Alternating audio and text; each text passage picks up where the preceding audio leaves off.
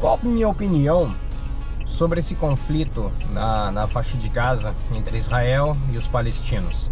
É, de que lado eu tô? Assim como eu tô vendo muita gente colocar a bandeira de Israel, né, dizendo eu estou com Israel e tudo mais, é, existem famílias de um lado e de outro sofrendo. A única coisa que eu tenho, que eu penso é o seguinte, e eu vou falar para vocês nesse vídeo de hoje, hein? Então, mas primeiro a gente vai passar ali e botar um arzinho no meu pneu aqui, ó. Amanheci hoje com essa surpresa ali, ó.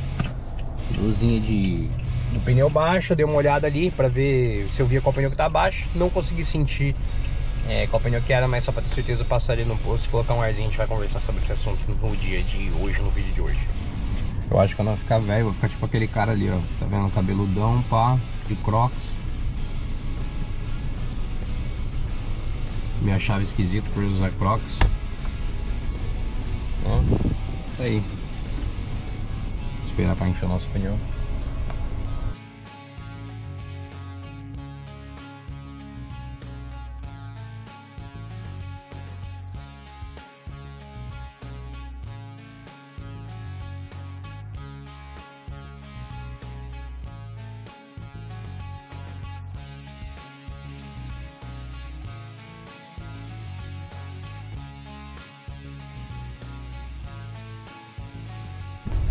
Resolvido, a luzinha acabou, foi embora. Agora tá tranquilo para poder trabalhar finalmente. Muito difícil e eu nem aconselharia ninguém a tomar um lado nesse conflito entre Israel e Palestina, porque, cara, tem família sofrendo dos dois lados, entendeu? E a gente não pode generalizar nem os palestinos, nem o lado de Israel. É, eu tenho a minha opinião que é sobre a liberdade, entendeu? Se você é cristão, se você acredita em Deus, você acredita em qualquer coisa, é, o teu maior bem dado por Deus foi a tua liberdade, entendeu? Deus abriu mão é, do controle dele para te deixar livre. Então é, é, o teu maior bem. E isso ninguém deve, ninguém pode tirar. É, e para mim é uma das únicas é, é uma das únicas coisas que justificam a violência, que é o ataque à tua liberdade entendeu? Porque quem ataca a liberdade do outro tá se colocando à disposição para ser atacado e perder a sua, entendeu?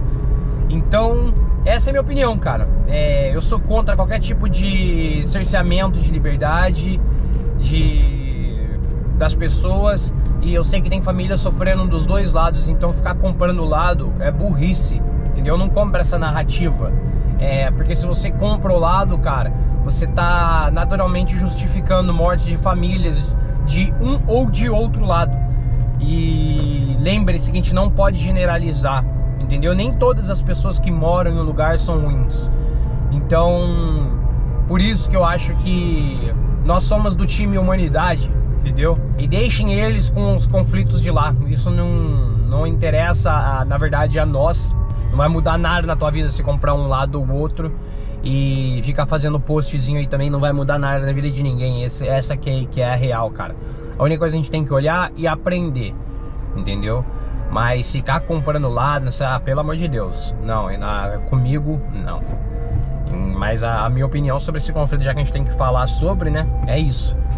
E vamos lá para mais um dia de trabalho, só começando. Parei para comer alguma coisa, dar um quilo tomar um chá. Vou mostrar pra vocês aqui. Esse aqui é um apartamento de aluguel, tá? O que, que eu faço nesses apartamentos, nessas casas? Finalização. Então, tipo assim, os caras vêm, constroem, e eu chego e deixo uma casca. Eu chego e faço finalização. Então, vou mostrar pra vocês, por exemplo. Esse, todo esse forro aqui foi feito por nós. Essa sanca de madeira também foi feita por nós.